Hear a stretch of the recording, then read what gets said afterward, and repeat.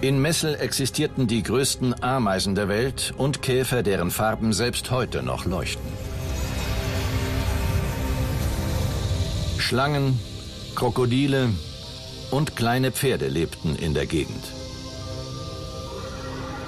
Und das Primatenweibchen, bis es schließlich zum Fossil wurde, das man in Messel fand. Schon vor etlichen Jahren. Damals, 1983, ist die Grube Messel noch nicht umzäunt. Fossilienjäger kommen Tag für Tag und suchen nach Beute. Einer von ihnen gräbt das fast vollständig erhaltene Primatenfossil aus. Er nimmt es mit nach Hause, präpariert es und schließt es heimlich weg zu seiner privaten Sammlung jeder Sammler muss ja äh, für sich seine eigenen Regeln finden, mit denen er äh, dann auch leben kann, leben muss. Das ist für so jemanden, als hätte er einen unbekannten Rembrandt oder Van Gogh zu Hause. Er kann ihn sich jeden Tag anschauen und der Rest der Welt weiß nichts davon. Ich glaube, so jemand fühlt sich stark, wenn er sowas für sich allein hat. Diese Menschen äh, wussten schon sehr früh, was sie dort haben. Und es war für sie auch klar, dass sie diese Stücke irgendwann mal äh, an die Öffentlichkeit bzw. an ein Museum weitergeben wollen. Irgendwann heißt in diesem Fall 26 Jahre später, bis Jörn Hurum das Fossil ersteht und für die Wissenschaft sichert. Mit Hilfe des Mikroskops machen sich Hurum und Franzen auf Entdeckungsreise.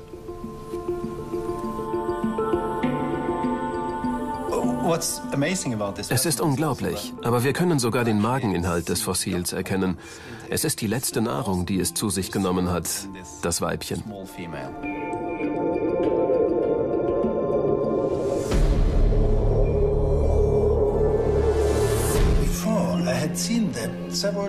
Vorher hatte ich mir den Mageninhalt schon mehrfach angeschaut und gedacht, ja, das sieht aus wie Schuppen eines Fisches, den es in Messel häufig gab. Oh, Erst als ich auf die Zellstruktur schaute, erkannte ich, dass es ein Überbleibsel von einer Pflanze sein muss, kein Fisch. Unter dem Mikroskop bestätigte sich das. Es kann nur ein Pflanzensamen sein.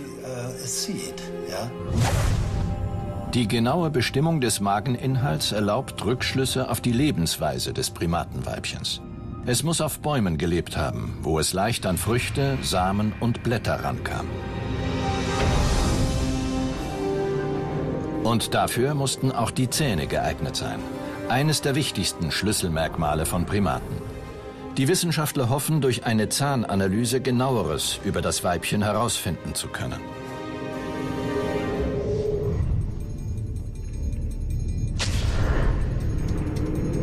Die Analyse von fossilen Zähnen gilt als überaus schwierig. Jetzt soll die Spezialistin auf diesem Gebiet weiterhelfen. Sie forscht im Norden der USA, in Detroit. Professorin Holly Smith versteht es, aus Zahnoberflächen zu lesen wie aus einem Buch, auch bei fossilen Zähnen. Man kann einiges über die Nahrung eines Tieres sagen, wenn man nur die Gestalt der Zähne sieht.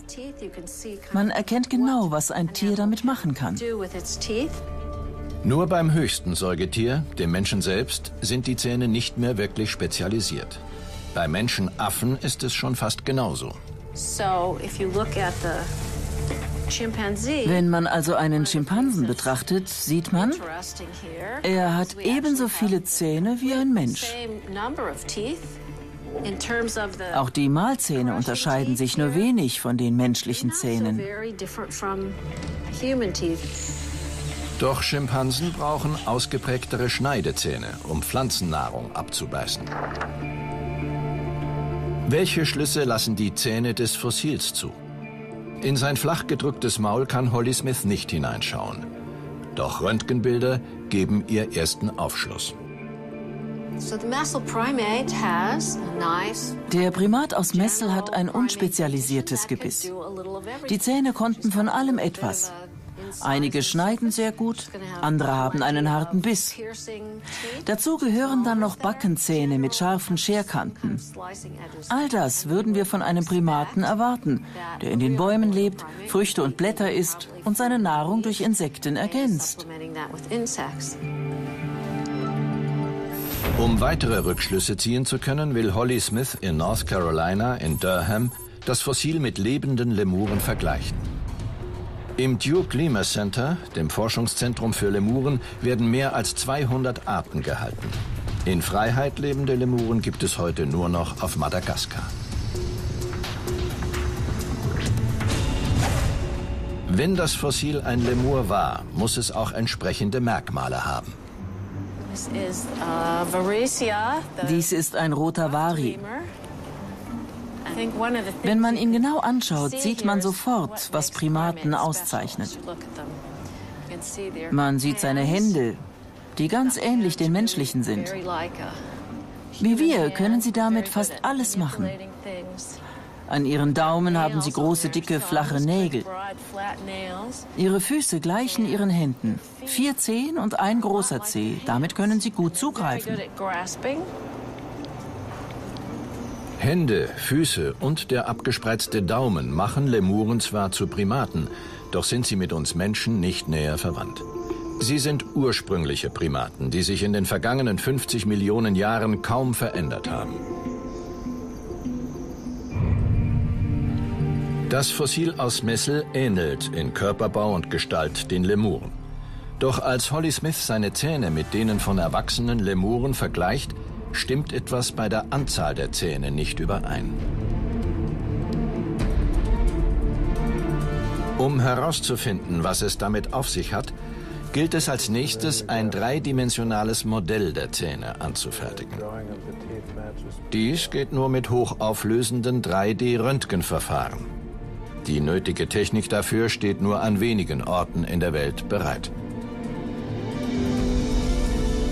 Führend ist das Senckenberg-Museum in Frankfurt am Main. Hier hat ein weiteres Teammitglied der Forschergruppe in monatelanger Kleinarbeit ein exaktes 3D-Modell der Zähne erstellt. Nur ein Hochleistungskomputer ermöglicht eine derart genaue Bildgebung und damit neue, bahnbrechende Erkenntnisse wie jetzt durch die Entschlüsselung des Gebisses. Wir helfen uns die Zähne natürlich darüber hinaus auch noch das Alter dieses Fossils festzustellen, weil zum Beispiel äh, einige Zähne schon äh, durchgebrochen sind. Das heißt, sie sind schon in Funktionsstellung. Das Tier konnte also mit diesen Zähnen bereits kauen. Diese Informationen finden wir nur dann, wenn wir mikrotomografische und mikroradiografische Untersuchungen anstellen. Solche Einblicke in ein Jahr Millionen altes Fossil gab es noch nie. Zusammen mit den Röntgenbildern belegt das 3D-Modell, dass das Weibchen noch über Milchzähne verfügte. Die bereits angelegten Backenzähne sind gut zu erkennen. Wir machten Röntgenaufnahmen und sahen so Schatten von etwas, was wir nicht erkennen konnten. Im vergangenen Jahr nutzten wir dann die Computertomographie und so bekamen wir Aufnahmen, die das Fossil in vielen, vielen Schichten zeigten. So erhielten wir ein dreidimensionales Bild, Jetzt gibt es keine Geheimnisse mehr. Nach dieser komplizierten und langwierigen Arbeit ist es nun zum ersten Mal möglich, das Lebensalter des Primatenweibchens zu bestimmen. Diese Primatin aus Messel starb recht jung. Sie war kein Kind mehr und mit Sicherheit noch nicht erwachsen. Am ehesten wohl jugendlich. Verglichen mit einem Menschen entspricht das einem Alter zwischen sechs und zwölf Jahren.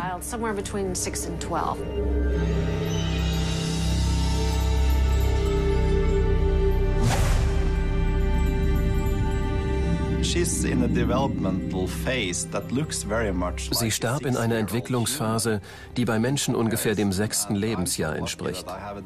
Ich selbst habe eine fünfjährige Tochter, die gerade anfängt, die Milchzähne zu verlieren. Deshalb haben wir, nachdem wir es untereinander besprochen hatten, entschieden, sie Ida zu nennen. Denn das ist der Name meiner Tochter.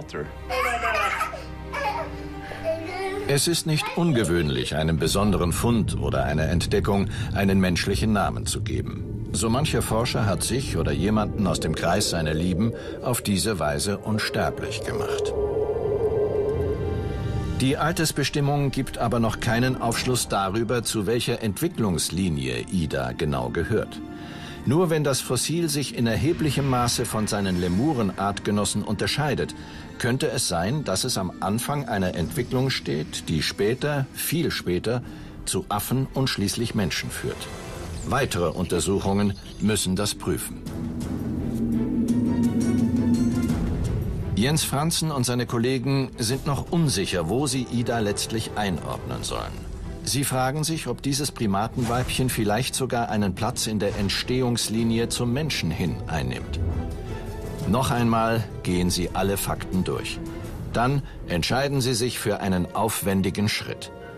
Um noch weiter in die Tiefen des Fossils eindringen zu können, wollen sie das blattgedrückte Skelett künstlich auferstehen lassen. Die Arbeit zieht sich über Monate hin. Mit Hilfe von Laserscannern und Computertomographie tasten sie Ida digital ab und bauen sie neu auf. So entsteht nach und nach ein dreidimensionales Modell von ihr. Die Ansicht des Skelettes ermöglicht es zum ersten Mal, Ida und Lemuren Knochen für Knochen zu vergleichen und herauszufinden, was die beiden unterscheidet.